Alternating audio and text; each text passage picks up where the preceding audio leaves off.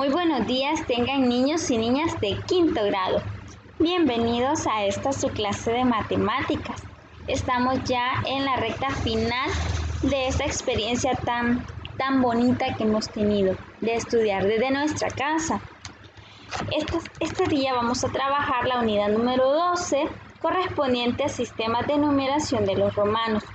Esta es la lección número 1. conozcamos los números romanos. Les saluda la profesora María Elena Meligar. Esta es la clase número 2 y nuestro objetivo es conocer el concepto del sistema de numeración romana.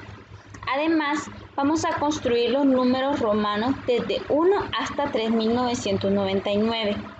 En la guía del docente vamos a trabajar la página 163 y en el libro del estudiante la página 127.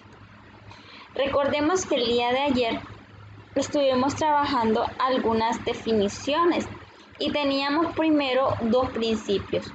El principio de la adición, que nos dice que en la numeración romana un número menor colocado a la derecha de otro mayor se suma. Si escribo un número menor a la derecha, lo sumo. Pero si escribo un número menor colocado a la izquierda de otro mayor, significa que lo tengo que restar. Estos son los principios de la adición y de la sustracción. Y luego recordarles que en la numeración romana hay otros símbolos aparte de la I y de la V y de la X, que son el 50 que se representa con la letra L, el 100 que se representa con la letra C, el 500 que se representa con la letra D y el 1000 que se representa con la letra. Bien, para comenzar esta clase vamos a analizar la siguiente tabla. En ella nosotros tenemos acá las columnas que nos hablan eh, de las unidades, decenas, centenas y unidades de millar. Es una caja de valores como nosotros la conocemos. Pero en ella tenemos separados aquellos números que se han formado en los números romanos por medio del principio de la adición y en la parte de abajo los que se han formado con el principio de la sustracción.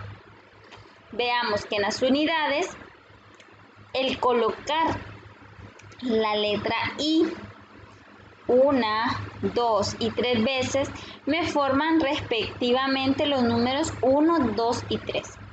Les recuerdo que la letra I no se puede colocar más de tres veces para representar un número. Y luego el, el número 5 que tiene su valor propio o su símbolo propio que es la letra V. Y a partir del número 5 y del número 1 podemos formar los números 6, 7 y 8.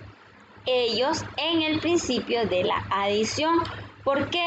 Porque la letra I o el valor 1 se ha colocado a la derecha. Significa que al 5 se le suma una, dos o tres unidades. Ahora bien, en el caso del 4 y del 9, la letra I se ha colocado a la izquierda. Esto significa, según el principio de la sustracción, que lo vamos a restar. A 5 le quito 1, me queda 4 y a 10 le quito 1, me queda 9.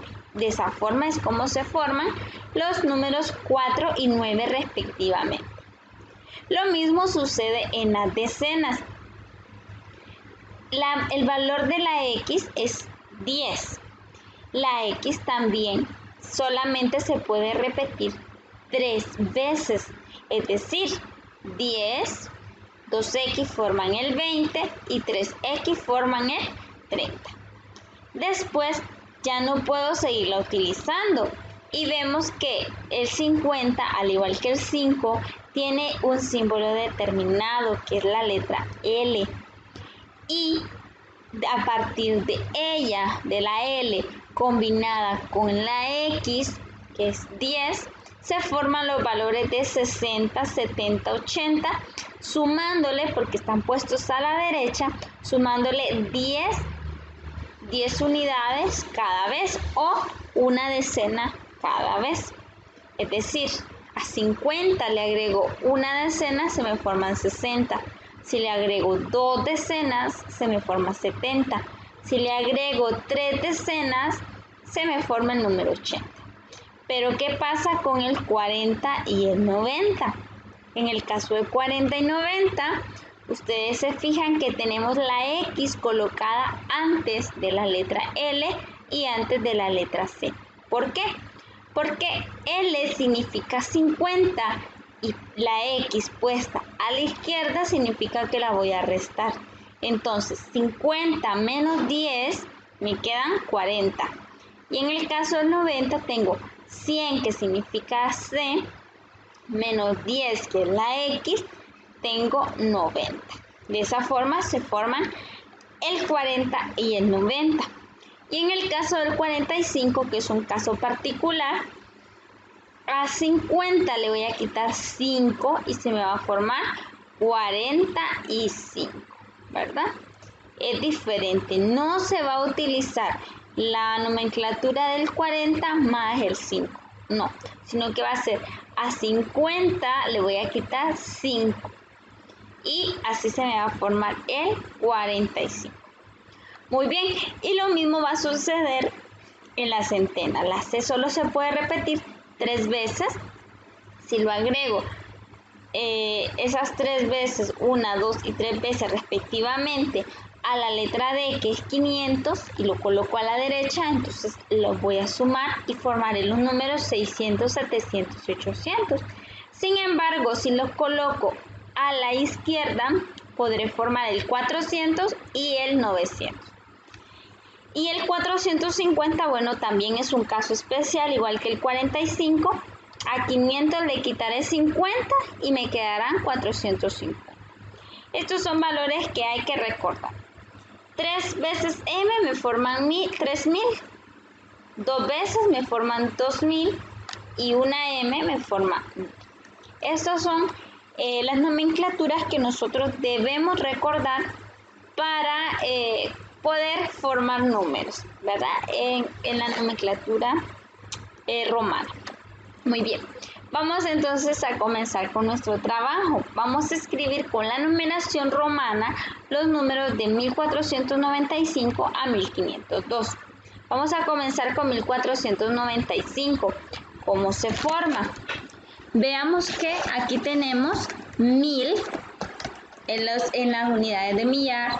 Tenemos cuatro centenas, tenemos nueve decenas y tenemos cinco unidades. Entonces vamos a comenzar colocando entonces eh, las, em, los valores, ¿verdad? Entonces, mil lo escribo con una M. El 400 yo lo voy a formar, recordemos cómo se forma 400 a L le voy a poner, perdón, a 500 le voy a poner antes un 100, es decir, C antes del D. Ahí formo 1400. Ahora, el 90 lo voy a formar colocando una X antes del 100. Es la C. Tengo 1400 90 y voy a formar el 5.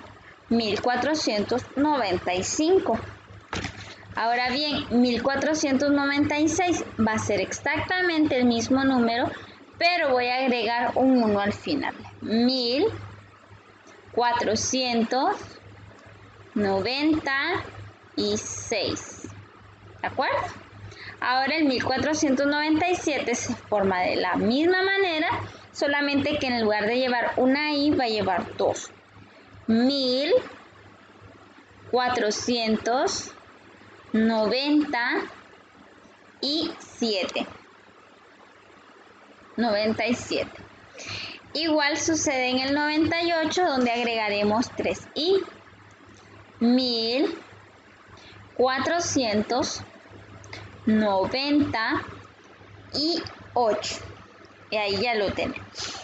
Ahora, 1499 va a cambiar un poquito. Porque, bueno, vamos a fijarnos acá. Tengo 1490 y el 9, ¿recuerdan cómo se formaba? Correcto, colocábamos una I antes de la X. Y aquí se forma 1499. Y 1500 se forma de esta forma. 1000, que es una M, y el 500, que es una letra D. Es bien sencillo. Ahora, 1501 voy a formarlo con una M, un 500 y un 1, porque voy a sumar. A 1000 le sumo 500 más 1. Y luego 1502 va a ser casi igual, solamente que va a llevar dos letras y aquí hemos concluido nuestro ejercicio. ¿Ves qué fácil es manipular la numeración romana? Muy bien, en este segundo ejercicio vamos a hacer algo distinto. Vamos a escribir con la numeración romana los números de 3800 a 3900, pero esta vez de 10 en 10. Comenzaremos con 3800. Vemos acá que hay tres, eh, miles. Entonces vamos a escribir tres letras M. 3. Aquí tengo 3000. El 800 se forma escribiendo un 500, que es la letra D, y tres cienes. 1, 2 y 3. Tengo aquí el número 3800. Ahora, 3810 se va a escribir de forma muy similar pero voy a agregar el 10 al final. Entonces, tengo 1000, 2000, 3000, 500, 600, 700, 800 y 10. 3810. Ahora 3820 es bastante similar. Veamos. 1000, 2000, 3000, 500, 600, 700, 800 10 y 20. 3820. Muy bien. Y el siguiente número también es similar. Veamos 1000, 2000, 3000, 500, 600, 700, 800, 10, 20 y 30. Hasta aquí. Ya no puedo continuar colocando más X, solamente puedo escribir 3X, es el máximo. Ahora veamos cómo se escribe 3840. 1000, 2000, 3000, 500, 600, 700, 800 y ojo, el 40 se escribe una X y una L. ¿Por qué? Porque a 50 le quito 10, me forma 40. Entonces tengo 3.840. 3.850, bueno, 1, 1.000, 2.000, 3.000, 500, 600, 700, 800 y el 50 se forma con la letra L. Tengo ya el número completo. Ahora, para formar el 3860, voy a escribir el mismo que tengo anteriormente, pero voy a agregar una X a la derecha para poderlo sumar. Tenemos entonces 1000, 2000, 3000, 500, 600, 700, 850 más 10, 60. 3860. Y 3870 va a ser muy similar. 1000, 2000, 3000. 500, 600, 700, 800, 50, 60 y 70, ¿verdad? Agrego 2X. 3880 también se va a aparecer. 1000, 2000, 3000, 500, 600, 700, 800, 50, 60, 70 y 80. Hemos completado ya con las X. Ahora 3890 va a tener su variante y va a ser 1000, 2000, 3000, 500, 600, 700, 800 y aquí para hacer el 90 voy a escribir la X antes de la C. ¿Por qué? Porque así le quito 10, me queda 90. 3890. Y el 3900 lo vamos a formar de la siguiente forma.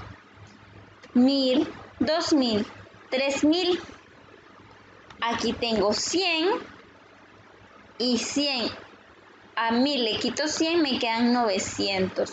Entonces, esa CM que tengo al final es 900, 3900. Esta es la manera de trabajar con la numeración romana. Espero que practiques en casa y te queda como tarea que escribas la fecha de tu nacimiento, es decir, tu, tu día, mes y año de nacimiento con números romanos. Que tengas un excelente día. Hasta luego.